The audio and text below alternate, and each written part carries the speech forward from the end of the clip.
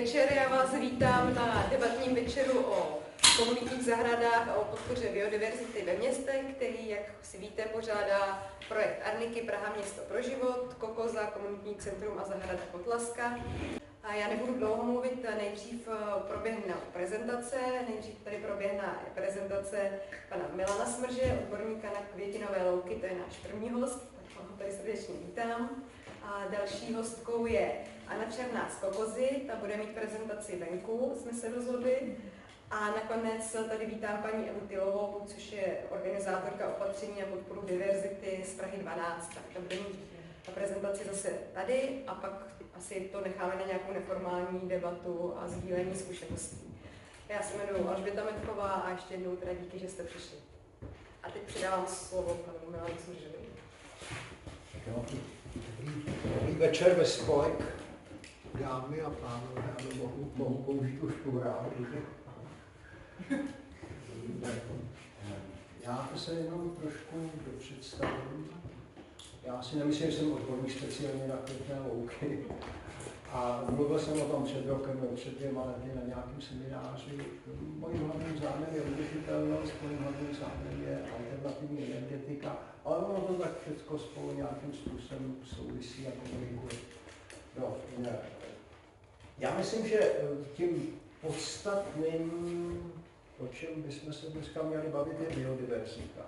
Biodiverzita je vlastně různost. Že? To je od té genetické úrovně přes tu úroveň specie různých až po, po nějaké teda ekosystémové záležitosti. A tahle ta celá biodiverzita je pro nás důležitá, protože to je vlastně sám život. Představte si, že bychom žili a měli bychom na obživu třeba jenom jednu, jeden typ nebo jednu rostlinu, tak bychom asi moc neprosperovali. Že? Ta, my tu biodiverzitu potřebujeme i e, pro vlastní přežití a přežívání. A tak tady je vlastně jeden takový slide, e, k čemu e, ta biodiverzita vlastně ve skutečnosti je. Že ta nám přináší pochopitelně ekonomické profity, protože bez toho by asi nebyl ani ten život. Víme dobře, že je mimořádně důležitá pro eh, naše psychické zdraví, že jo, i fyzické zdraví.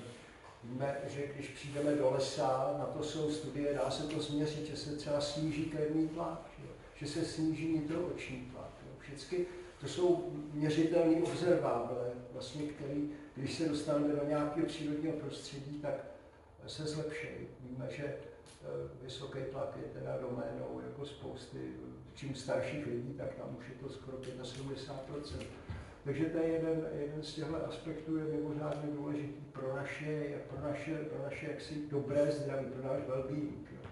Kulturní duchovní hodnoty jsou vlastně asi taky představitelný, je spousta literatury, spousta básní, které opěvují přírodu, spousta mm, eh, kulturních tradic, které jsou navázané zejména ty starší, které jsou navázané na přírodu. Mnozí říkají, nebo mnozí to i tak cítí, že vlastně příroda je tím největším božím chrámem, se říká, což já teda osobně trávím v lesích eh, tři a půl měsíce v roce, takovým o čem mluvím, vlastně celý život. A ekologické benefity jsou zřetelné, protože ta biodiverzita je provázanost, čo možná jste četli teď od toho, od toho mladého Sheldrake'a, provázaný život, tu knížku eh, o, vlastně o tom, jak houby a a prorůstají a jak přivádějí komunikaci, ale o tom celku nechci teď nějak významně mluvit, doporučuji to tedy, že to je, to je vlastně Merlin Sheldrake, je syn toho Ruperta Sheldrakea, který se proslavil některými, jak se dnes, dnešní terminologii kontraverzními, kontraverzními výzkumy a e, představami. No. E, nicméně my jsme té biodiverzitě dávali trochu na zadek. No, tohle to je po, pokles e, četnosti přes 30 tisíc populací obratlovců, pozemských obratlovců, protože my v tom moři jako v podstatě nevíme co je, stejně tak nevíme, co všechno za mikroorganismy jsou v půdě, protože to nějak jako nás jakoby moc nezajímá. Tady vidíte, že ta, ta četnost těch jednotlivých druhů poklesla v podstatě za 50 let o 70% což je teda jako hrozný. Ale když, to, když si to zobrazíme, tohle na nějakým jako ještě větším časovém úseku, jo, tak tohle je, tohle je podle Václava Smila, to je profesor podle, eh, podle jména českého původu působící v Austrálii a eh, tady vidíte, jak ta biodiverzita vlastně se změnila před 100 000 lety, tedy daleko před neolitickou revolucí, jsme my jsou hmotnosti suchozemských obratlovců. Zase protýkám, že nevíme suchozemských proto, protože nevíme, co je v moři a asi to těžko můžeme zjistit přesně, když to tady můžeme udělat nějakou statistiku.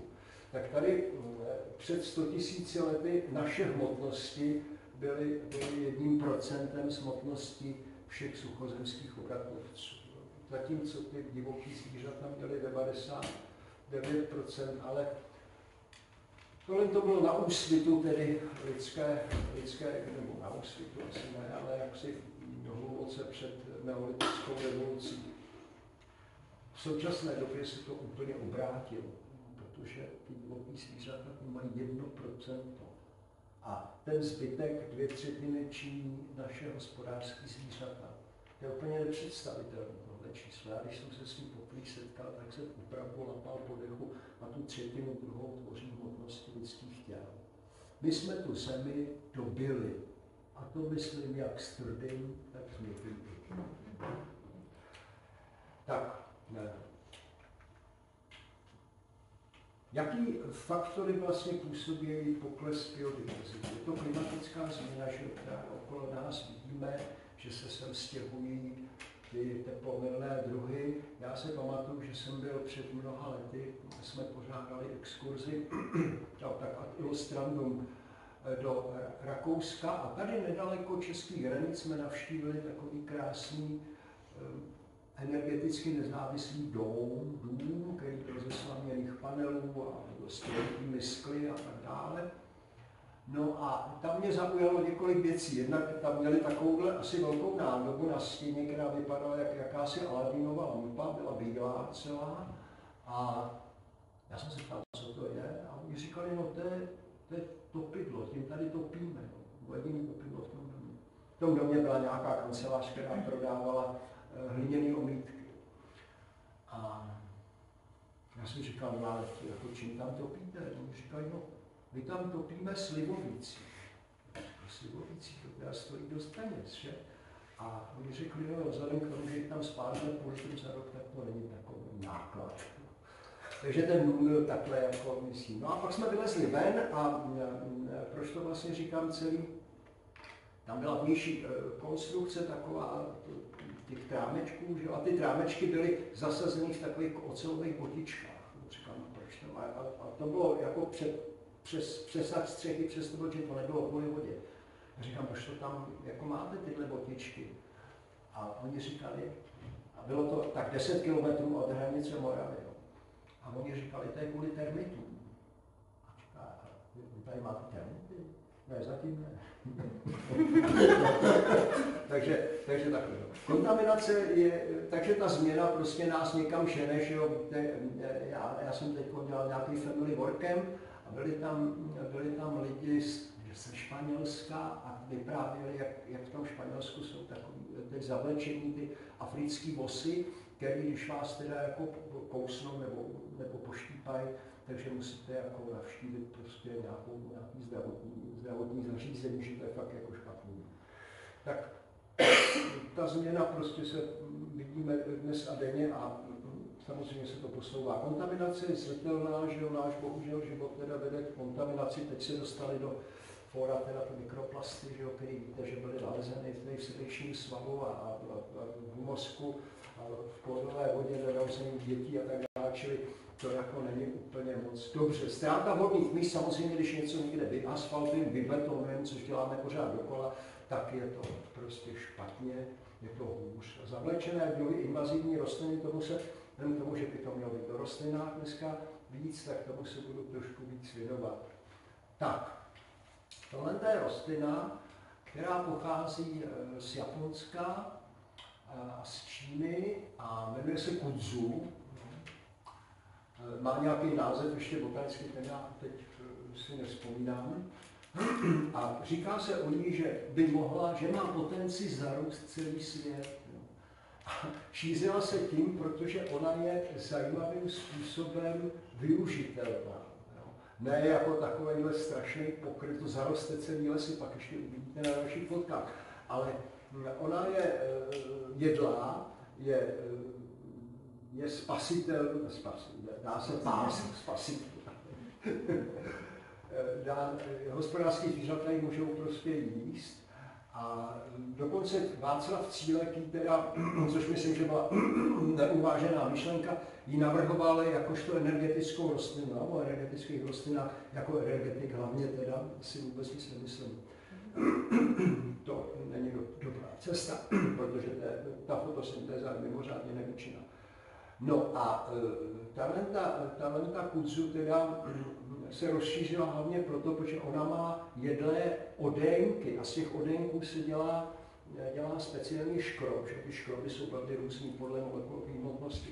A e, ten, ten škrob z toho kudzu má nějaký speciální účinky, je velmi lehce stravitelný, takže z toho důvodu si to někde na nějaký výstavě tam to dá, rozdávali kousky ty rostliny a lidi si to vzali a takhle se to rozšířilo. Teda v Americe speciálně, já nevím, jak, jak moc je to v Evropě, to nevím tedy, ale ve Spojených státech je to teda jako hrůza.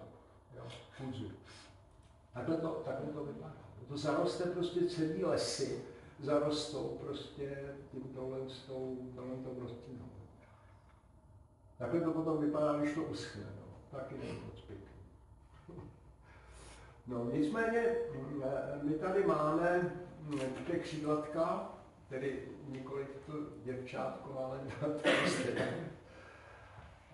My jsme se trošku proslavili, Česká republika, v tom, že tady vzniknul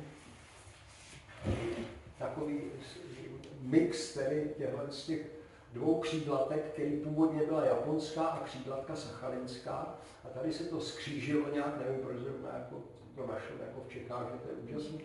A ta křídlatka je teda něco takového jako, jako, to, jako to kudzu japonský. No, to je velmi vytrvalá bylina. Já jsem ji dokonce našel na chodníku, kousek bydlím u Jindřišské věže, tak jsem ji našel na, na chodníku v ulici Růžové. Tam roste. Čili ta, ta jako se jako nesmírně dobře jako dělí, taky prostě stačí kousek odenku a ta se velmi špatně jako nějakým způsobem hubí nebo reguluje. No. Tohle je a tam tím skřížením vznikla teda nějaká subspecie, která se jmenuje křídlatka česká, no, takže máme zase nějaký primát. No, tohle je ovšem něco úplně jiného.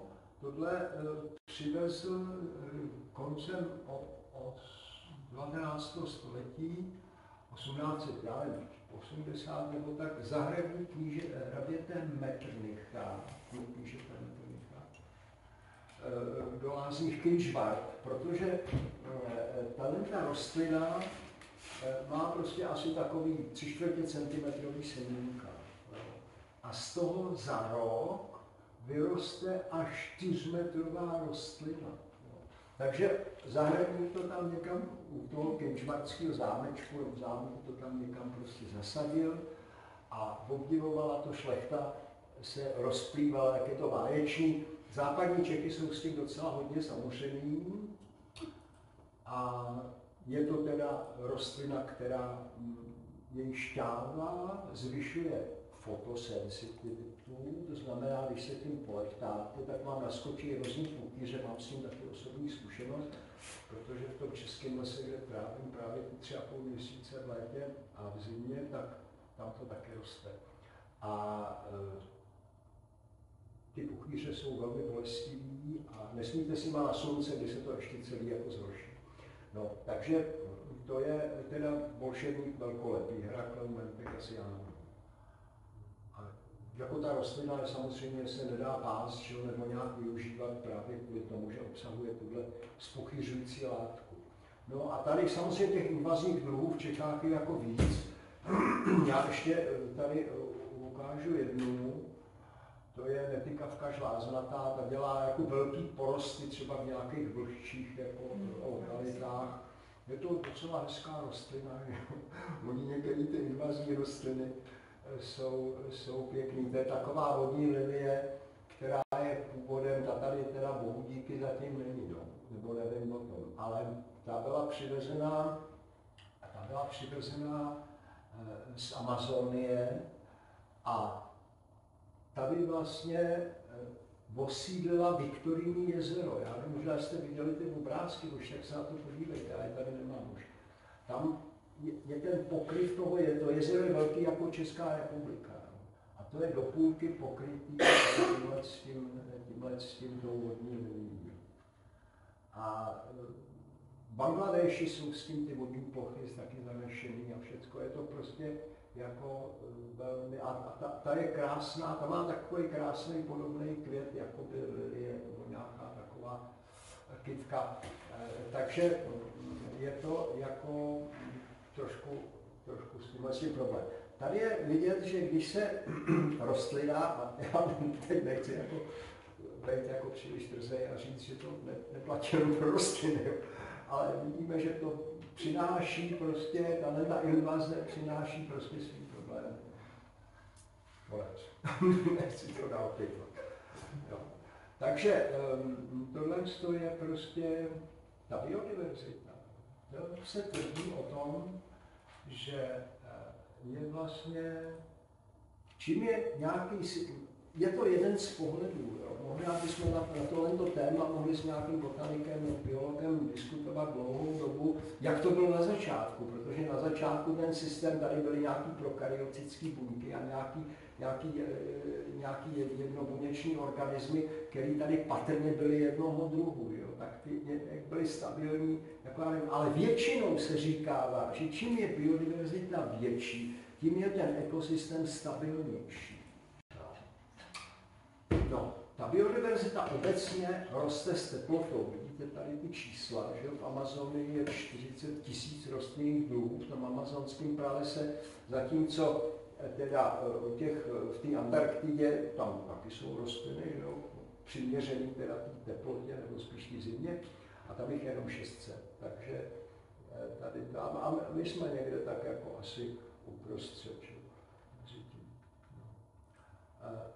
Tohle je způsob, jako který já považuji za jeden z nejlepších, pokud bychom se bavili o nějaký jako biodiverzitě nebo nějaký, prostě, nějaký lepší struktuře třeba zemědělství. Je to ag- agroforestry, to agrolesnictví. Je to tedy vlastně pěstování zemědělských plodin v pásech stromů. Hodně se to používá ve Francii, hodně se to používá v Německu. Je to velmi pěkný a teď tady na té straně máte ty benefity, které je neuvěřitelné množství. Jo. My jsme viděli jako ty povodně, že jo. tak musím k tomu říct jednu věc, že přehrady jsou zajímavé. Suchý poldry jsou asi lepší, ale nejlepší je půda, protože v tom, v tom zásaku do té půdy se vejde té vody mnohonásobně víc, paž ta půda je všude.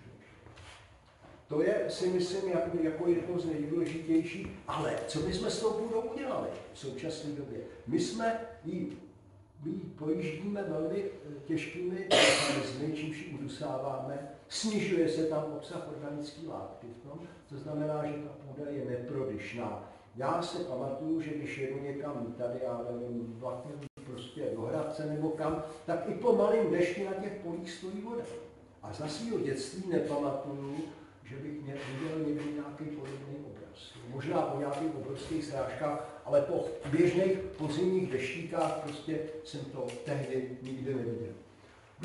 jsou rostliny, které mají rádi polostín a dokonce tam profit, profitují.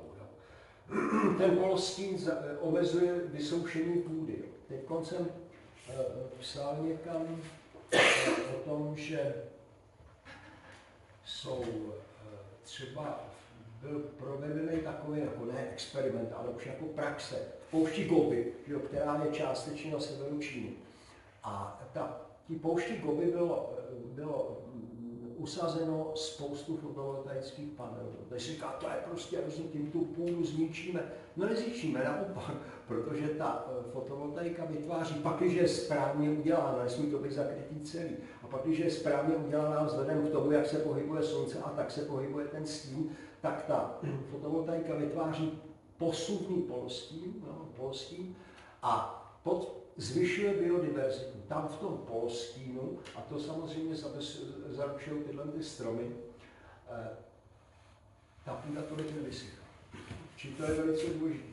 Je to, ty, ty, ty listy můžou být potravou pro zvířaty. Samozřejmě ta dřevní hmota sekvestruje uhlík. A když by se to potom, tedy buď to z toho udělalo udělal nějaký stavební dřevo nebo nějaký stavební panely, jo, a nebo kdyby se z toho udělalo biouhlí nebo mulč na pole, tak se vlastně ten uhlík na nějakou dobu skryje do té půdy. Jo. V té půdě, to je taky zajímavý, my jsme vypustili obrovské množství uhlíku do atmosféry, to asi víte, ale v té půdě do metru hloubky půdy je toho uhlíku sedmkrát tolik. Nebo se liší trošku pět až sedmkrát tolik. To znamená, my když ten uhlík bychom nějakým mazaným způsobem a asi i levným nebo mnohem levnějším než jiný navrhované cesty uložili do té půdy, tak jsme možná na cestě řešení té klimatické krize. Samozřejmě to na dlouhý. Ty stromy nemusí být jenom, jenom nějaké na dřevo, ale mohou to být, mohou to být plodné stromy, ovoce, ořechy, organická půda, když ty listnaté stromy opadají, tak ta, ten, ten, to listí se dostane do té půdy jako mulč, pak se tam zaorá nebo při dalším, dalším zemědělským zpracování se dostane do té půdy a dostane se tam organická hmota. Důležité je, to není zrovna tenhle případ, ale když je to třeba hustší zápoj, nebo jsou tam i keře v tom, tak eh, se sníží odnos ornice. Protože jak jsme viděli ty záplavy nedávný, tak ta voda je kalná. Že jo? Ta je kalná, protože odnáší to nejcennější, co my máme. Jo? Pak, že tedy bych opomněl nedávný výrok nějakého ekonoma, Komanda nebo Kerex, ne, to nebyl Komanda, to jiný. Ale teď mě vypadlo to jméno. Tak ten říkal, že ta půda nic nenese a že bychom ji měli zastavit. Jo?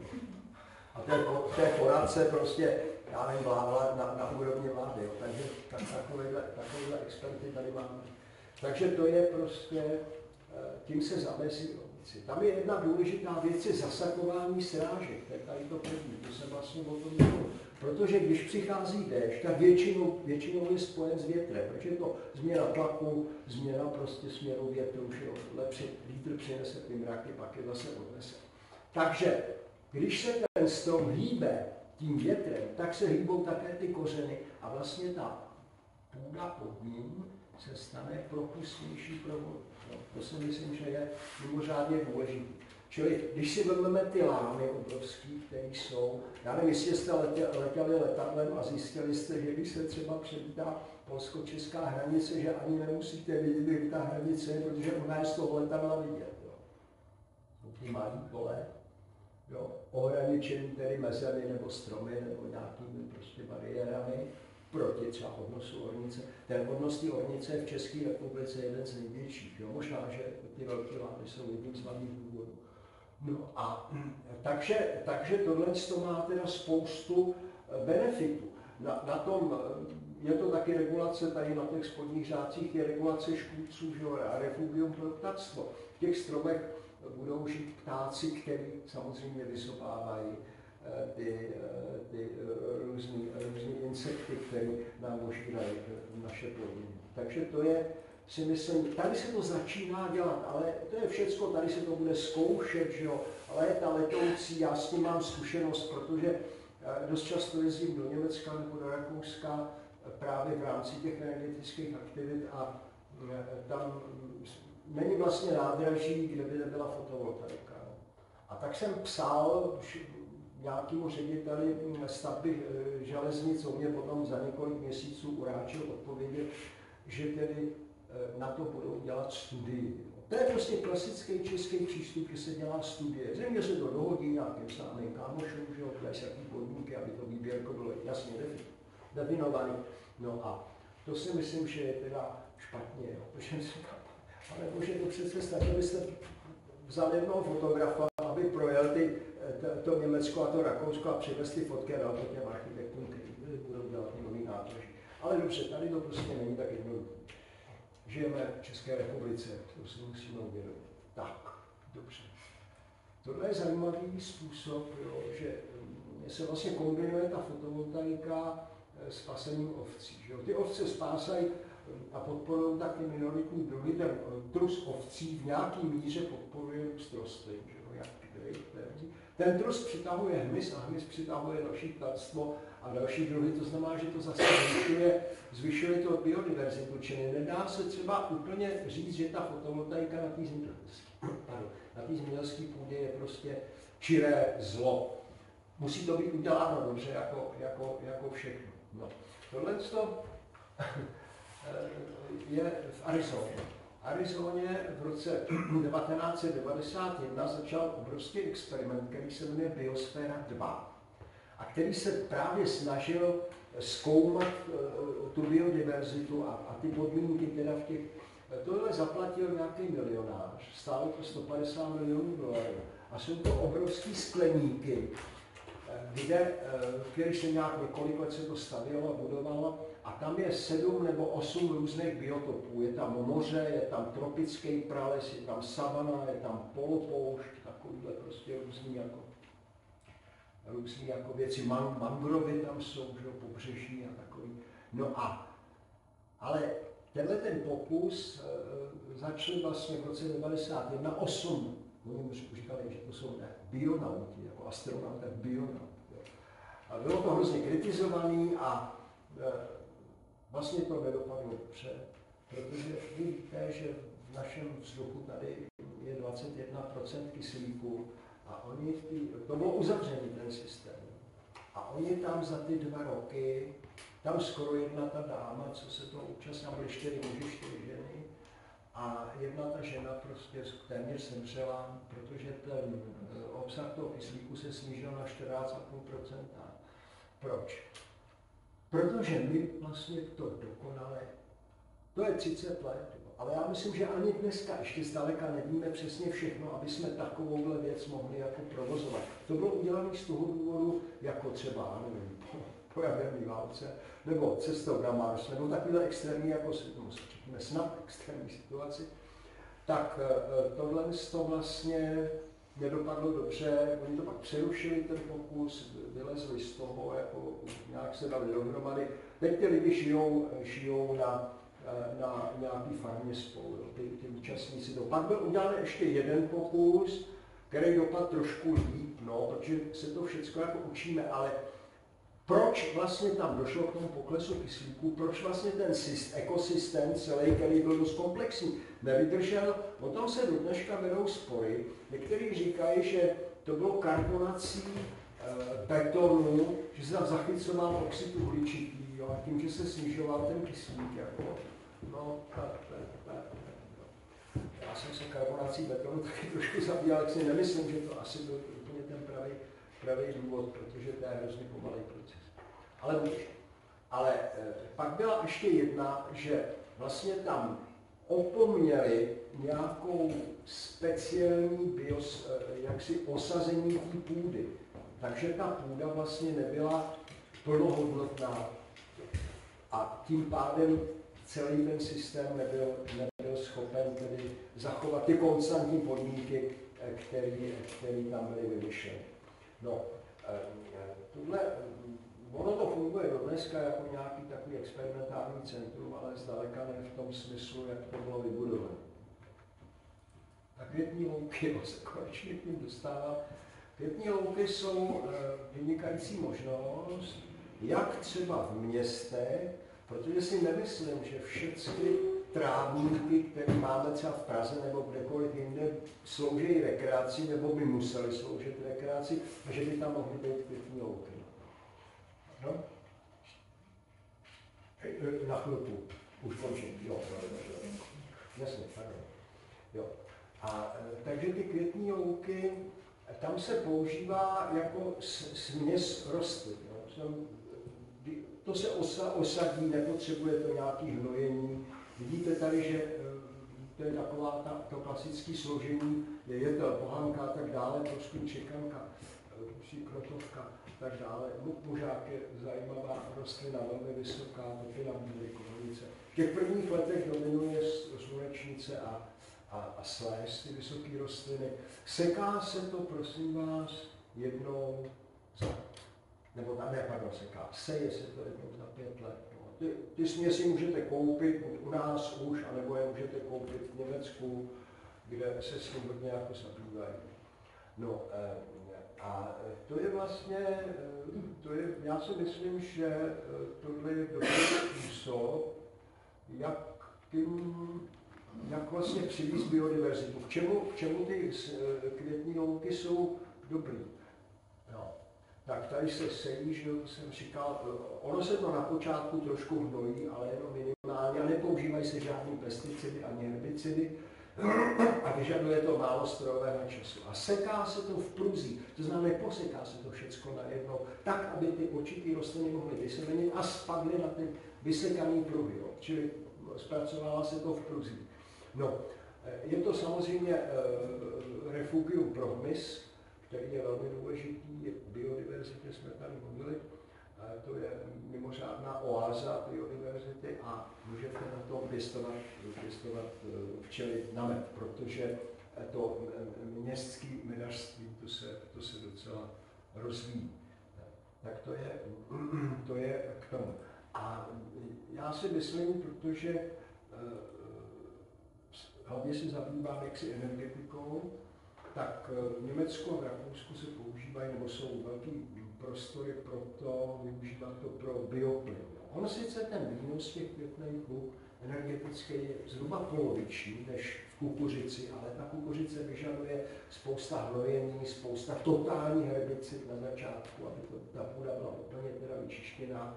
Takže ta celková bilance není zas pro tu květnou louku tak špatná. Myslím si, že by Praha třeba mohla to přidávat do bioplynu, mohlo by se to nějakým způsobem zpracovávat s dalšími bioodpady. Tady mám jenom takový odhad, který nebudu teda zdržovat, pak už jsem na konci, ale je, je to takový, takový zajímavý číslo, že ze zákona se, se musí sekat pruhy podél silnic kvůli přehlednosti v zatáčkách a tak dále.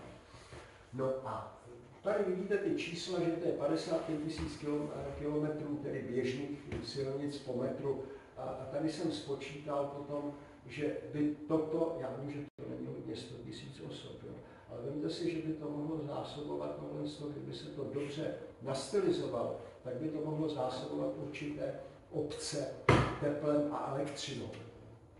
A to je jenom část bioodpadu, kdybychom do toho integrovali další odpad, tak by to mohlo být prostě, já nevím, třeba třikrát, čtyřikrát více, nejméně. Takže eh, ono to má i, z hlediska té energetiky, to má jistý aspekt. Zajímavé. Tak jo, děkuji za pozornost.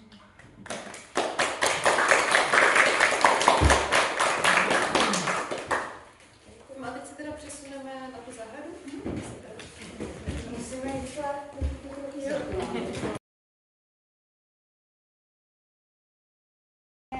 já se zabývám rozvojem komunitních zahrad a ty komunitní zahrady jsou takovým skvělým prvkem, že vlastně na jednom místě máte nejenom uzavřený cyklus jídla, o toho pěstování, konzumace, pro to kompostování, abyste měli zdroj na pěstování, ale právě je to místo, kde často vzniká velká spousta té biodiverzity na poměrně malých prostorech, které tam dřív nebyly, protože často komunitní zahrady nevznikají úplně na zemědělsky přijatelných prostředí, ale jsou to často v těch městech nějaký vyloučené lokality nebo jako neudržované pozemky. Uh, komunitní zahrady vznikají i jako dočasné, třeba před developerskou výstavbou, to znamená v místech, kde byste normálně nešli pěstovat nebo nečekali velkou biodiverzitu ale tím, že tam vznikají ty nové záhonky, že se to nějak osadí, přitáhnete tam hmyz, protože děláte nějaké opatření, třeba jako hmyzí domečky, řešíte nějakou populaci toho, že třeba některé zahrady se zaměřují třeba na ptáky, na nějakou širší spektrum, nebo mají zítky suchý, pro ještěrky a podobně. Přitahujete postupně na místo, kde dřív toho tolik nebylo, vlastně další ten život. Jo? To znamená, v tom vidím tu velkou přidanou hodnotu, že i na místech, kde dřív byl třeba uvozovkách obyčejný trávník nebo divočina, tam je určitá způsobem taky diverzita, jo? ať už půjde nebo na ní, ale můžete to obohatit dalšíma prvkama, který vlastně ten člověk tam jako dodá. Pojďme se podívat tady kousek dál, zahrady. Lídnete, protože jsme na takovém jako nejširším, největším prostoru, tak se můžete rozší, jako podívat, kdo to tady neznáte v rámci kotlasky. Uh, máte tu část, která je spíš na to setkávání lidí, trávení toho volného času. Na druhou stranu už tady uvidíte spoustu menších prvků. Jedna věc je, že třeba kotlaska zachytává dešťovou vodu. Vidíte za sebou u hlavní budovy a i tady u sousedního domu spolupracuje se sousedama. To znamená, zachytává se voda i odvedla právě proto, aby vůbec se mohlo dobře pěstovat. Jo? Zdroje prostě dešťovky je skvělý příklad na to, aby tu diverzitu jste podpořili, abyste měli dostatečný zdroje na pěstování. Byl tady původně vlastně sád, ne úplně udržovaný, to znamená, je tady spousta vzrostlých už jedlých mm. stromů, různých, který se doplňují o novou výsadbu, což vidíte třeba hned tady vedle, jo, že vlastně se doplňují další jakoby stromy, který počítají s tím, že až ty starší se v podstatě do, neříkám, že uh, zaniknou, ale ve své podstatě až třeba nebudou moc být užiteční jako ovoce, tak mezi tím doroste nová generace. A tady mě pobavilo a říká jsem si, že se zeptám, jestli to bylo cílený, že ta dýně tady je, anebo to tak vzniklo tou přírodou. Kompostu, ano. Se říká jo? Kompost, Takže no. takový vlastně jako nenápadný příklad taky, no. guiltu, který nebyl úplně jako plánovaný, že kolem vlastně stromu vzniká nižší patro z, momentálně z kompostu. Přihnojil se strom, kompostu byly semínka a ono to prostě dostalo šanci vyrůst, vykvést. A často je to vlastně tak, že třeba ty gildy podle permakulturních eh, principů se dělají, že máte ty tři patra, že rovnou využíváte vlastně celou tu plochu a um, dáváte to jako společenství. Neřešíte jako solitéra ten strom, ale vlastně přemýšlíte nad tím, jak podpořit ty rostliny mezi sebou a zároveň jako, aby se jim dobře žilo. To znamená, děláte většinou nějaké trvalkové patro, uh, rostlinek, pak na to dáváte třeba keř a uprostřed pak může být ten solitérní strom. Jo? A oni se navzájem vlastně podporují a než ten strom vyroste, tak vlastně ty trvalky a keře mu tam zúrodňují hezky tu půdu a tím, že to vlastně nějakým způsobem kořenama prorůstá, tak to vytváří lepší prostředí i v té půdě. Vy nejspíš tam dodáte nějaký kompost, zalíváte to, takže děláte jako celý, celý to souzní, aby vlastně ten strom jednou vyrost a zároveň si vytvoří celý to společenství, který ale přitáhne i třeba ten hmyz na opilování a podobně. Už se to tvoří jako v celek. No. Tady koukala jsem, že vedle tady taky další se tam u malého stromku udělalo. Tady vlastně je část, kdy je spousta stromů, keřů, je tady hodně i mirabelek a tak, ale pak jsou tady sekce, které jsou nechané vlastně jako divočina na té zahradě. A to je zrovna takový prvek, který je vlastně důležitý, že to vypadá jenom jako roští, ale je to zázemí zase pro ptáky, pro hmyz, můžete tam mít drobný zvířata, který tam najdou útočiště. To znamená, i ty komunitní zahrady často se snaží, aby tam byl nechaný nějaký prvek té divočiny. Že i to, že tam máte třeba jenom hromadu posekaných eh, větví a necháte to ladem, nemusí znamenat, že to je jako škaredý na pohled a mám to vyčistit, ale máte třeba nějaký důvod, protože tam můžou ptáci najít útočiště, může vám tam někde přebytovat třeba ježek nebo přitáhnout zase nějaký drobný další hmyz který tam najde jako domov. Jo? To znamená i to, že třeba na pohled ne všechno vypadá krásně a udržovaně, vlastně neznamená, že to není funkční, že to jako není zdrojem bohatství. Pro, pro, nejenom pro tu zahradu, ale třeba i pro toho člověka, který tam pak působí. Jo?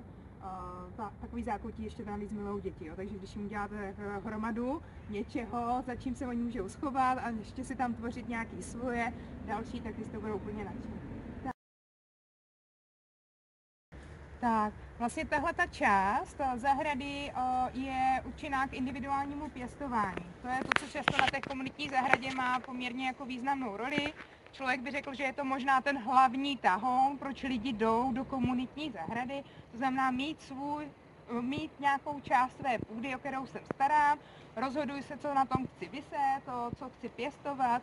A vlastně je to takový můj experimentální nějaký pozemek omezený, kdy si to můžu vyzkoušet. A zároveň mám kolem sebe třeba lidi, kteří už pěstují nějakou sezónu nebo přináší zkušenost. A vlastně dochází tady k výměně zkušeností a získávání zkušeností novej. Což vlastně za mě vlastně je taky podpora biodiverzity v tom, že ty lidi se učí know-how, jak co pěstovat, čemu se daří v dané lokalitě. To je ještě velmi specifický, protože pokud budu pěstovat tady, tak to bude trošku jiný, jako když vědu do severních Čech. Prostě to klima bude jiný a jiný rostliny, co tam bude dařit, nebo v jiných kombinacích. Takže třeba i to, že se zeptám, če, čemu se dařilo loni, mi může pomoct volit rostliny vhodné pro moje pěstování, protože zjistím, hele, rajčata tady šly úplně bezvadně, ale celer ani jeden, jo? Nějaká zpětná vazba o tom, čemu se tady dařilo. Uh, taky vidíte, že každý ten záhonek pojal trošku jinak. Jo? Někomu nevadí, že má přes celý záhon obrovský uh, rozmarín, který z malé, uh, prostě z malé uh, kytičky nebo rostlinky najednou je ve své podstatě v metrové výšce. A někdo má docela úhledně jako daný ty rajčata a opečovaný, nebo to nakombinoval třeba s kytkama, tady jako skvěle s těma měsíčkama, jo, prostě uh, hledaj si ty svoje kombinace, takže je to zdroj i nějaké inspirace. A čím víc těch individuálních menších políček je takhle jako pestrých, čím větší je šance, že přitáhnete samozřejmě i barevnou složení toho hmyzu, uh, motýlů, uh, samozřejmě pak i ptáky, jo, a podobně, je to navázaný na sobě, takže tím přinášíte uh, další složky. Uh, spousta zahradníků i začíná třeba se seminařením, jo? že se učí, jak jednak zpracovávat věci, ale pak třeba uchovávat semínka. A nevím, jestli znáte guerrilla gardening, ale to je vlastně takový jako ozeleňování, takže prostě si uděláte třeba seed bomby, což jsou kuličky plný semínek, nebo jenom máte semínka, který prostě nosíte a když máte dojem, tak chcete někde, tak vlastně vysejete třeba nějakých uh, rostlin, bylinek a podobně. Můžete pomoct, jo? V místě, kde se třeba nic nedaří, nebo máte dojem, že by tam mohlo být i něco úrodního nebo něco plodného. Samozřejmě bacha na ty invazivní rostliny, ty fotky mě trochu děsily, co jsem viděla popravdě. S těma zarostlýma lesama jednou popínavkou si říkám, ty jo, tam bych nechtěla bydlet, jako působilo to na mě docela odstrašující. Eh, jediná teda šance by byla to sníst, jak jsem pochopila, když je to jedlé. Ale jako asi by nás bylo potřeba hodně, no, aby se to jako všechno snělo. Takže uh, s některýma invazivníma druhama, ale je to podobný. Někdo říká, že třeba jako biodiverzita je i to, že když se podíváte, tak máte dojem, že je to trávník. Ale trávník znamená, že tady vidím třeba jetel, tady je jitrocel, nejspíš bychom našli někde kousek dál, tady je pampeliška, určitě bychom našli nějakou bršlici nebo kopřivu a podobné věci. A to jako vlastně si často lidi neuvědomují, že i ten obyčejný trávník, pokud to není ten golfový trávník, ten, který je prostě přesně na těch, já nevím, pár centimetrů a je to takový jako unizóno, furt jenom ta tráva, není tam nic, tak v těch normálních českých trávnicích, které jsou v těch zahradách, je vlastně poměrně dost života. A je otázka, jak moc se s tím pracuje, protože někdy stačí jenom to, že nesekáte tu plochu jako celek. Často stačí jenom změna třeba sekání na to, že si vyberete zóny, které buď nesekáte, anebo sekáte, jak se říkalo, sekvenčně. Jo? To znamená, buď si vyhradím nějakou část, příště posekám jinou, nebo na etapy a jenom tam dáte prostor pro to, aby ty rostliny mohly vyrůst vysemenit, vykvést, vysemenit a podpoříte je v tom, aby se tam třeba rozrostly. Takže pak tam nemusíte mít jenom tu trávu, ale těch druhů tam můžete mít daleko víc. A spousta těch věcí jsou i léčivky. Jo, to znamená je otázka třeba i práce tady jakoby na tímhletím směrem. Může to být inspirace. Pro mě například, já jsem byla koordinátorkou komunitní zahrady 4 roky a na sídlišti sehnat uh, jako uh, kopřivy, kde máte jistotu, že to není očurané ovsa, byla vlastně velko, uh, jak to říct, to byla pro mě velká hodnota, protože já mám ráda kopřivy, dělám si ráda kopřivý čaj, dávám si je na jaře prostě do špenátu, do, do polívek, uh, ale prostě to jako neseženete jako surovinu a třeba kopřiva je velmi opoj, opomíjená jako obyčejná, jako plevel a jako že to nechci v zahradě, ale je to náš největší zdroj železa. Jo, to znamená, určitě vám nepomůže špenát, ale jezení kopřivy může být cesta ven z anémie. Jo, má to samozřejmě nějaký jiný věci, ale prostě je to skvělý, uh, vlastně náš, naše skvělá léčivka na naše podmínky. To znamená, může vás to přivést k tomu, že začnete hledat i v obyčejných věcech, tu užitečnost a snažíte se z malé plochy, protože ty komunitní zahrady jsou často omezené, mají nějaký jako velmi jako limitovaný prostor. I ty záhonky individuální jsou takový třeba metr, dva, tři, to nebavíme se o políčkách, bavíme se fakt o malých záhoncích. A ty lidi vlastně přemýšlí nad tím, jak intenzivně i z malého prostoru dostat poměrně velký výnosy, přemýšlí nad kombinacemi, přemýšlí, že dají třeba víc sekvencí těho vysetí, nebo že některý zahradníci u nás na zahradě si udělali třeba na jaro o, takový to přikrytí ještě jakoby folii, to znamená, oni začali doopravdy v březnu, únoru, už si tam dávat nějaký zelený věci, protože si to přikryli a ono to pod tím ve své podstatě vyrostlo a v našich podmínkách v Praze jako běžně sklízíte zelený věci ještě v listopadu a v prosinci a mrkev tahám v únoru. Jo, jakože prostě můžete si to jako nafázovat, když uh, vezmete potaz fakt, že sezóna prostě není od dubna do října pracujete i s tou možností, že se otevřete třeba brzkému jaru nebo zimě na určitý druhý za určitých podmínek, který můžete ale vlastně si prodloužit to, ten zdroj i z takového třeba malého o, pak pozemku. Uh, takže to byla jakoby biodiverzita, co se týká třeba zdrojů potravin, rostlin na pěstování, uh, nebo třeba i v té půdě jako takové. Uh, někdy je to takový, že příroda si sama jako poradí. To znamená, objevilo se nám to, že třeba máte na zahradě kompostér, co čert nechtěl, přitáhlo to myš.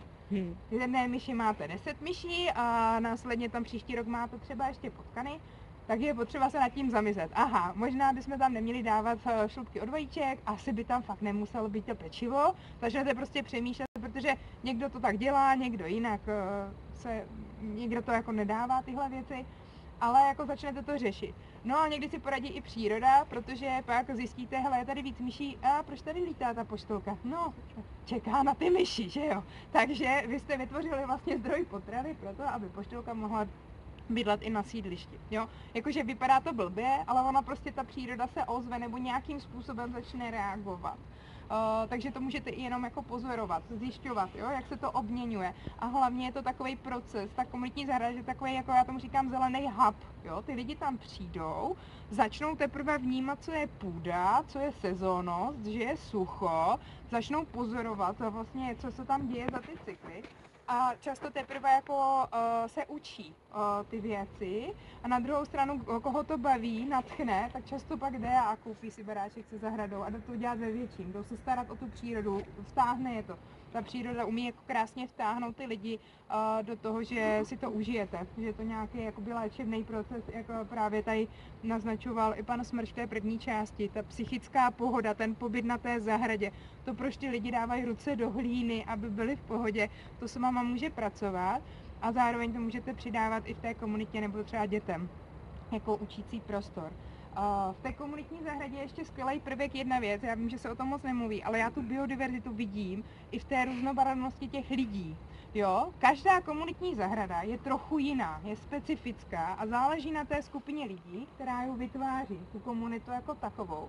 Takže třeba ta komunitní zahrada uh, vlastně vytváří prostředí pro jejich potřeby. Jo? Někdo tam potřebuje větší místo pro děti, někdo víc pro pěstování, někomu nestačí individuální záhonky, ale třeba potřebují pole, takže už jsou komunitní pole. Jo? Uh, uh, není to komunitní zahrada, jsou komunitní pole. Chtějí víc toho třeba dostat a učí se, jak to udělat. Zároveň tam navazujete vztahy a vlastně vzniká tam takový to zdravý, ten zdravý život. Jo, ta komunita, pokud žije, pokud se ty lidi poznají a navážou ty vztahy, tak vlastně to není jenom o tom pěstování, kompostování a zahradě jako takové, ale o tom celém životu a možnosti propojit se skrze tu zahradu, což je třeba volnočasová dobrovolnická aktivita se sousedama, který byste normálně třeba měli obavu jenom pozdravit. Já jsem se přemístila z Brna do Prahy a ve své podstatě skoro nikoho jsem tam neznala. Dva lidi, jo, když jsem semka přišla. A následně, když jsem zůstala na rodičovské dovolené, uh, potažmo dovolené, dobře, uh, s dítětem doma, tak vlastně tak až ta komunitní zahrada mi udělala to, že jsem nejenom poznala ty lidi, ty sousedy, kteří měli aspoň podobný zájem nebo nějaký hodnoty, chtěli třeba zdravý prostředí pro dítě, byly tam hodnoty jako zdravé potraviny, jídlo, vážit si dobrýho jídla a tak dále. A vlastně pak následně jsem během třeba dvou, tří let jsem najednou znala třeba 100 rodin. Jo, a to vám to jako to povědomí o tom místě a ten pocit, že někam patříte, že se cítíte doma, vám jako hodně zvýší, jo, z té nuly, tak já prostě tady jsem si říká, wow, to je super, já jdu na nákup a je, ahoj Lucko, prostě dlouho jsme se neviděli. A najednou mám na co navazovat, můžu s těma lidma komunikovat, cítíte se dobře. Takže já tu biodiverzitu i vnímám z pohledu jako vztahu, různorodých vztahů, lidí, možností se napojit na zase jejich zkušenosti, znalosti. Byť to asi není oficiální jako výklad, ale ta komunitní zahrada toho tam může být ten příklad.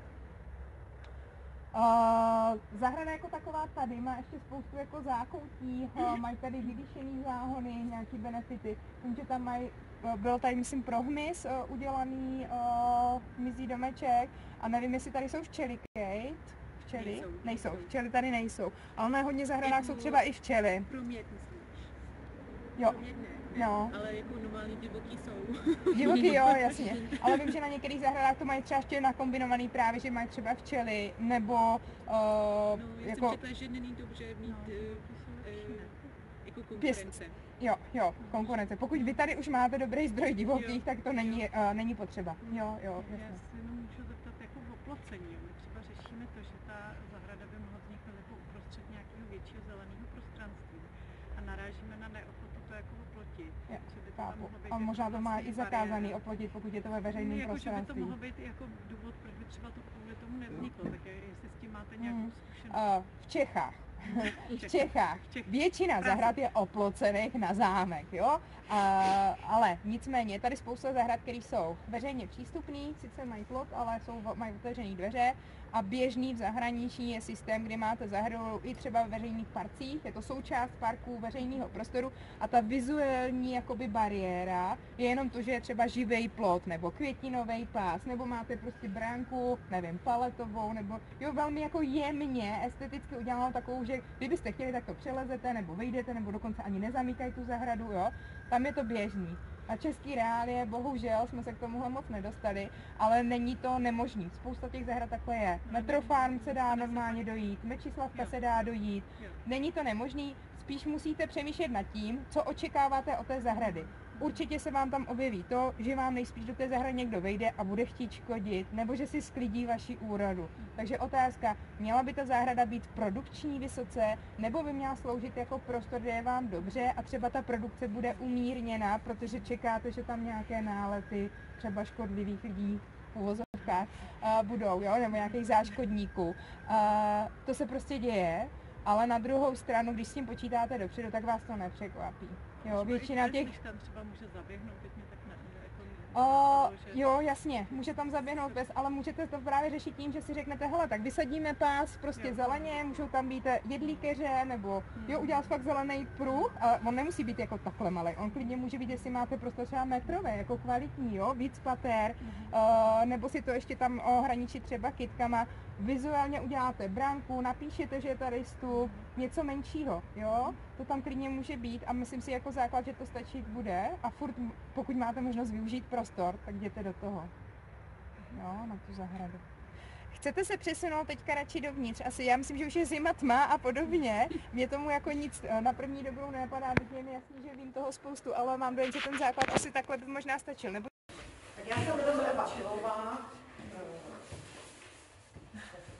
působil ekologii asi 30 let, možná, že někteří vlastně znají. V současnosti, nebo poslední dobu jsem, eh, jsem komunální politička, by se dalo říct, a tohle je z období 2018 až 2022, kdy jsem byla místostarostkou na Praze 12 a prostě některé ty eh, věci jsem mohla zařídit, protože Eh, prostě to není, není to jen tak, prostě ty odbory životního prostředí ne jsou prostě nakloněný těm novým změnám. Eh, proč jsem to vrátila? Chtěla jsem právě říct, je to teda opravdu jenom výseč o těch trávnicích. Trávník může se zdát jako opomíjený proti stromům nebo keřům, ale vůbec to tak není, protože trávník třeba na městské části Praha 12 je 136 hektarů trávníků. Jo, takže to je opravdu, jako je, je teda pravda, že jsme jedna z nejzelenějších částí na Vinohradech, to asi bude horší, ale i tak eh, vidíte, jak to vlastně může to ovlivnit mikroklima, jako jedna, jeden směr přednášky, který, který mývám, ale může to taky rozvíjet tu biodiverzitu. Tak.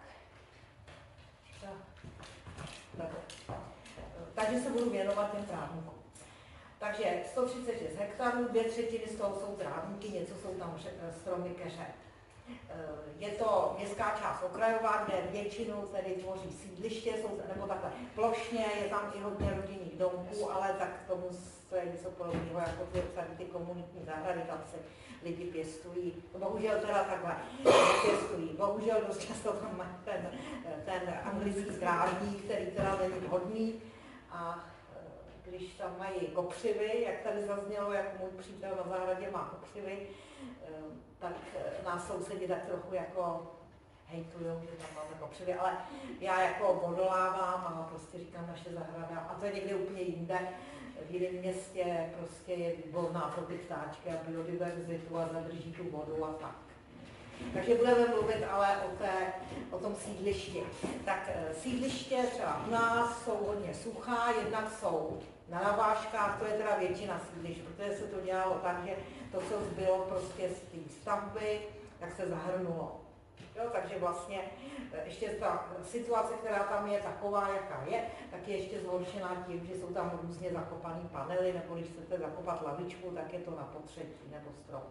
Takže a zároveň u nás je to i, eh, nebo některá ta sídliště jsou hodně hodně suchá, jmenuje se to kamík, jako na kameni, takže tam je to horší, někde je to něco lepší. No. Tak eh, my můžeme právě tím, jak pečujeme ty trávníky, tak můžeme hodně, hodně změnit, eh, hodně podpořit tu biodiverzitu, o tom tady bylo hovořeno, hovořeno takže to nebudu tak probírat. Eh, my to můžeme podpořit už tím, že změníme systém sečí, to je teda velký boj. Je to boj s tím odborem životního prostředí. Eh, je to velký boj i s, tedy s občas, částí občanů, to já potom dá eh, Potom ještě do sebe a podobně, to prohledu postupně. Tak. Takže první věc, co jsem, eh, co jsem zavedla, bylo, že se nebude sekat eh, teda na ten, takhle. Tam je ještě takový problém, že ty sídliště, tam ty trávníky nejsou úplně rovný, takže když jede ta sekačka, takže občas to se sekne, protože jsou tam, prostě jsou tam ty, ty vršky. Ale nicméně, že se bude sekat na 8 až 10 cm, seká se v závislosti na tom, jak tráva vyrostla, ne, že se prostě to nechá na té firmě, která chce samozřejmě sekat co nejvíc. Dnes se, eh, metodický pokyn jsme iniciovali, já jsem byla zároveň zastupitelkou na hlavním městě a teď jsem taky, takže jsme iniciovali pokyn eh, toho odboru životního prostředí na magistrátu, který je teda výborný, jo? Já jak jsem trošičku teďka hovořila o tom, o té určité skepsi na těch městských částech, tak na, na, na magistrátě je to jako výborný odbor, který je iniciativní, vymýšlí věci a, a taky vydal tu metodiku. Tak a teďka jako ano, no, prostě není, ne, jako vůbec, eh, ta změna seče teda není vůbec jednoduchá. Jednak to není jednoduchý manažersky, protože když máte 136 hektarů, tak to není jako, že vyjdete na zahradu a řeknete si, tak dneska je já nevím, třeba po dešti, nebo prostě to tak poseká, začnete sekat a za dvě hodiny to máte posekané. Tady, když chce, chcete spustit seč, tak to musíte 10 dní předem avizovat firmě, třeba u nás, a to ještě teda musím říct, že jako silou své své důraznosti jsem dosáhla to, protože to vůbec neměli ve smlouvě, jo, že to takhle bude probíhat. E, že jsem dosáhla toho, že vždycky budou sekat, když jim řekne. Ale musíte jim říct 10 dní předem, jo, nebo nějakou dobu, protože oni musí si naaranžovat ty práce, kde mají samozřejmě najednaný ty pracovníky, anebo některý je teda bohužel eh, ta kvalita těch pracovníků, který to dělají, já jsem byla po druhý místo starostka, ten rozdíl je velký, prostě ta kvalita těch pracovníků různě klesá. Takže některý najímali agenturní pracovníky, podle toho to pak někdy potom vypadalo. Nicméně jim to musíte říct 10, před, 10 dní předem, Stejně jsme to měli rozdělený do lokalit, takže jsme měli asi čtyři firmy a stejně to sekají asi 20 dní. Jo? Prostě není to tak, že takhle risknete, teď, teď se do toho dostane ten déšť, kdy nemůžou sekat, pak zase vysoké teploty, kdy nesmějí sekat a tak dále. Takže vznikají potom takový eh, různě jako občané to vnímají někdy, někdy jako negativně, že třeba se to Potom opravdu, když je eh, deštivý květen, nemůžou vyjet a zároveň to roste, takže je to opravdu hodně vysoký, pak jim to zase už nejde sekat. Takže chci říct, že to není vůbec jednoduchý. Potom to není úplně jednoduchý vysvětlovat občanům, protože někteří občané mají, občané mají takovou představu, že to bude jako opravdu ten, eh, ten anglický právník. Takže jsme hledali i, i prostě ve spolupráci s občany nějakou takovou míru eh, toho, jak se sekat bude. Samozřejmě na dětském hřišti nebo ve vnitroblocích jsme sekali častěji, protože chápu, že lidé mají obavu třeba z těch klíšťat. To je asi největší obava. Eh, potom dost velká obava, musím přiznat, že mě to hodně překvapilo, protože jsem si myslela, že pes je docela odolné zvíře, které se nebojí běhnout do trávy a jeden z největších problémů bylo se psy. Zřejmě asi, jak jsem pochopila, protože majitel ztratil psa z dohledu a měl strach, že něco sežere. Takže, takže my jsme měli takové ankety, nebo tam jsou velké facebookové skupiny, které třeba mají 15 tisíc eh, členů, ne, že by všichni psali jo, z těch 15 tisíc byly tam bouřivé debaty, jak jsem zavedla tuhle, tu změněnou seč, tak jsme tam dělali třeba anketu, ale tam lidi jako chtěli, aby, to, aby ta seč se, se změnila, nicméně byly tam takové příspěvky třeba vylezu z auta a tam džungle. A, a někdo psal, mně se v tom ztrácí pes. A jiná paní psala, to nic není, mně se tam ztrácí dítě. A třeba když se někdo nestihlo posekat, tak právě jeden pán mi přivez takovou trávu metrovou, která tam vyrostla. Takže se to nějak pilovalo. Mm, Eh, a tak jsme se snažili prostě najít tam, kde to prostě bude nižší tráva, to znamená, že tam, kde lidi chodí a kde vys, vyšší, tam, kde zase, zase nechodí. Tak.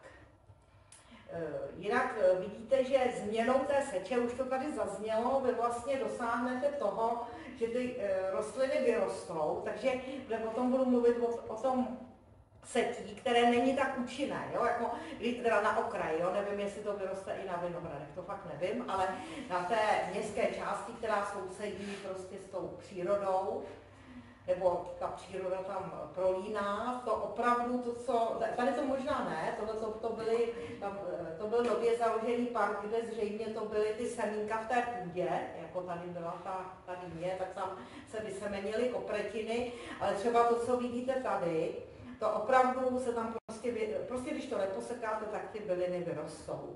Jo, my, aby potom lidé věděli, kde to je řízená akce, a kde, jak jsme dávali takovéto cedule, a protože jsme chtěli jako je získat, tak jsme vydali takovou publikaci, tohle to zase naše PR, to udělala tom papíře, který já bych nezvolila, ale to vždycky vysáhnou ten úřad. Takže nejdřív jsme vydali takovou malou, brožuru a pak jsme vydali dokonce a těch 100, 150 plus 1 je jenom výběr, jo? to prostě není ani všechno, co, co prostě tam, mm, tam vyrostlo. Takže jsme to nafotili, aby lidi viděli, že opravdu, i když, i když, že když se to změní, že vlastně tam ty, eh, ty rostliny, krásné byliny vyrostou. Aspoň nebo procházku. A to se fotili to fotila kamarádka na sídlišti. Ale, takhle, ono těle těch 150, ono to má dvě části.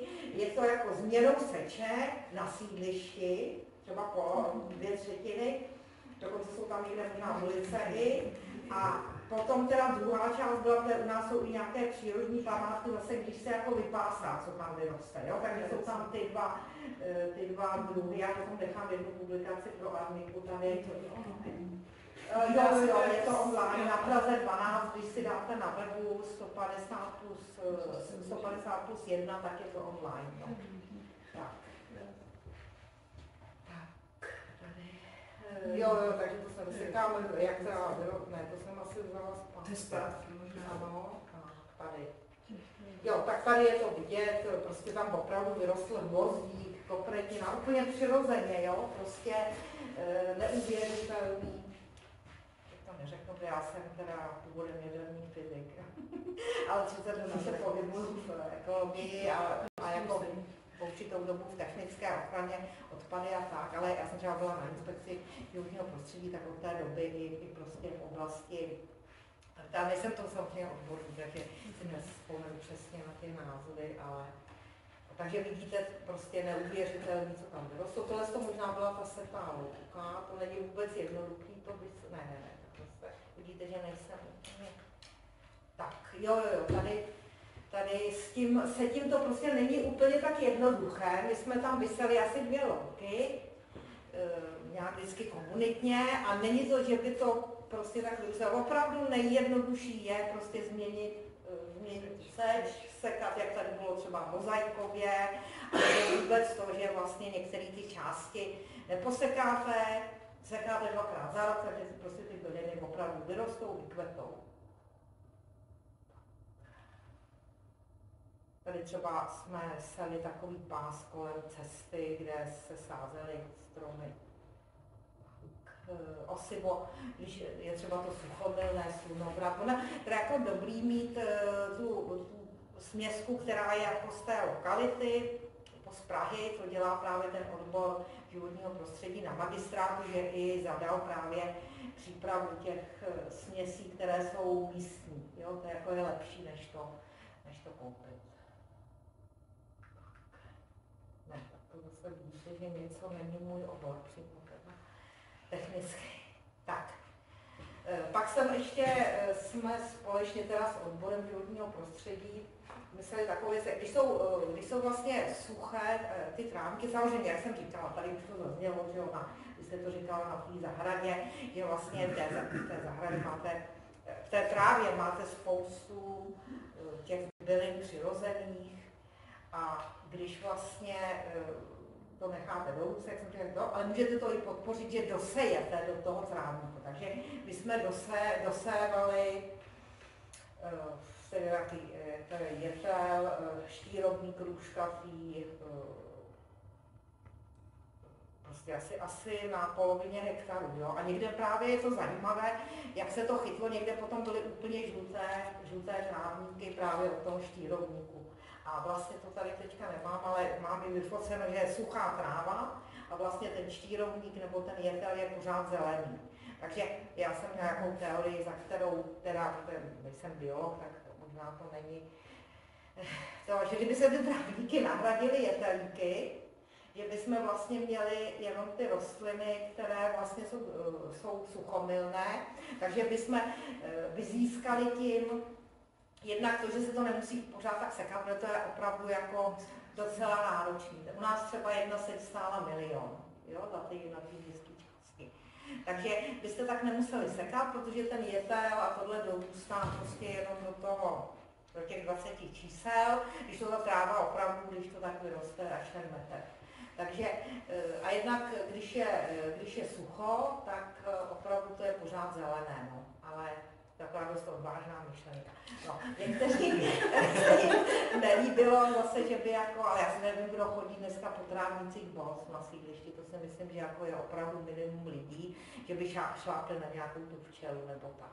Ale to mi přišlo takový, že když jsme to všechno nahradili těmi jetelíky, tak ušetříme a, a zároveň prostě se to nebude dusat tím, jak tam jezdí ta sekačka ale mezi tím jsme další volební období už se nedostali do toho, to nemohlo realizovat. do toho koaliční partneři eh, letli, tak radši s náma koalici neuzavřeli. Je taky drobný, drobný vtip. To by nám dělali z jiných důvodů, které my tam bráníme, té nadměrné výstavbě, ne kvůli jetelníkům. No, tady eh, prostě rozvoj, tady kamarádka nafotila motýly, prostě jsme kde vyhráli dokonce, jako že máme nejvíc motýlů v celé Praze. Eh, a tady potom nějaký ty další, další hmyz. užitečný. Tak, eh, získali jsme od včelí stráže záruční porosty, to je teda hlavně kvůli, kvůli tomu, že, to, že tam můžou lítat včely. No. A tady jsou ty dvě publikace, které jsme vydali. Eh, Tady je ukázka že jo, z, té, z té jedné. Obě se dají stáhnout na webu eh, městské části Praha 12. To už asi, no, participace, tady to jsem říkala teď, že to byl docela boj. Eh, No, tady jsou prostě, když jsme chtěli realizovat, tak opravdu to je složité. Jak jsem říkala, nejenom tím, že je to velká plocha, ale jsou tam prostě firmy to chtějí neustále sekat, takže jste pod tlakem těch firm. Pak jsou tam takový, třeba my jsme vy, udělali mapu, co mají posekat a pak to pracovníkovi dali opačně, takže on posekal to jiné a takové prostě jo, přenos informací od radního k tomu, kdo sedí na sekačce. No.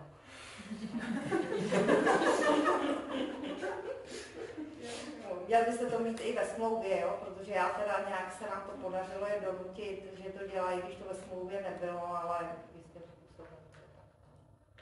Tady ještě jo, zachycování vody, no to je jako takový vlastně jednoduchý opatření, který nepotřebuje stavební povolení Eh, že vlastně vykopete rýhu, do ní dáte nějaký propustný materiál, my jsme dávali štěrk, ale někde venku se dá dát i něco, něco jiného, třeba kamínky, toto prostě, my jsme dávali eh, pletivo nějaké jako tkané, ale dá se tam třeba sláma nebo něco takového, prostě aby ta, a na to půda, aby ta půda nepropadala do těch kamínků a prostě neuzemovala. Takže teče eh, voda, která že je dobrý tam vysadit průchtěřů, aby rozrazili ten proud vody, takže voda teče ze svahu, zasákne a nedoteče na ten chodník, kde vlastně vytvářela kaluže, ale hlavně zůstane prostě v té půdě.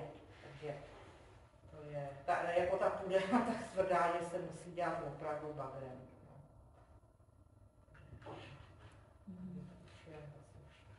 Tak, takže děkuji za, za pozornost. a jestli Tak jo, tak já moc děkuji všem za Arniku, všem eh, hostům, všem přednášejícím, i všem, co jste přišli. A pokud jste asi něco třeba nezachytili, tak to bude na tom záznamu, který se pak najde na webu Arniky a asi i na sociálních sítích. Takže, Jo, takže děkujeme. jo, možná ještě jenom, protože jsem na sebe nenechávala žádný kontakt, prezentaci jsem neměla. Kdyby vás něco zajímalo ke komunitních zahradách, nebo byste měli nějaké jako dotazy, tak já mám jednoduchý anická zavináč kokoza.cz, nebo prostě na, na kokoza.cz kontakty nějaký najdete, nebo infomail, takže se na nás můžete ještě jako obracet, pomáháme s zakládáním a rozvojem komunitních zahrad. Děkuji.